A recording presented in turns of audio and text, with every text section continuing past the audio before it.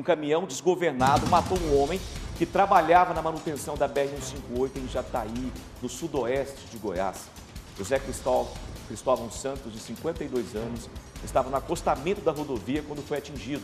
E de acordo com a Polícia Rodoviária Federal, o motorista alegou que o caminhão perdeu o freio e chegou até a buzinar para que as pessoas saíssem da frente do veículo. Ele estava carregado com milho.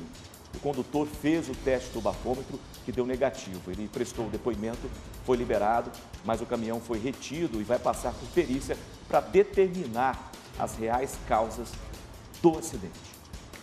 Cachorro é perseguido e morto a tiros por desconhecido em rua de Anápolis. Imagens de câmeras de segurança mostram o exato momento em que um desconhecido em um veículo persegue o cachorro e depois atira contra ele. Meu Deus, que crueldade! O animal chegou a ser encaminhado a um veterinário, mas infelizmente não resistiu aos ferimentos e acabou morrendo. O médico Vinícius Rivera conta como tudo aconteceu e como foi o atendimento. Ele entrou à clínica com uma lesão no tórax e depois, vendo a cirurgia, a gente encontrou a perfuração de tórax com ruptura de parte do diafragma e também perfuração do estômago. Essas lesões aí depois a gente foi entender que realmente foi um um projétil de bala. E, em virtude das complicações, ele veio a óbito, infelizmente.